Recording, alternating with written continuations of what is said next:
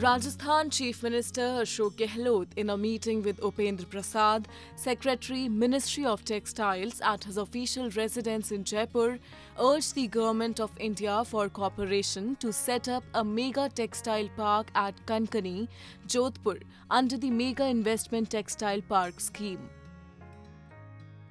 CM Gehlot said that the state government is working on a plan to develop Rajasthan as a major hub of textile based industries and is ready to provide 1000 acres of land and other necessary infrastructure facilities for this park.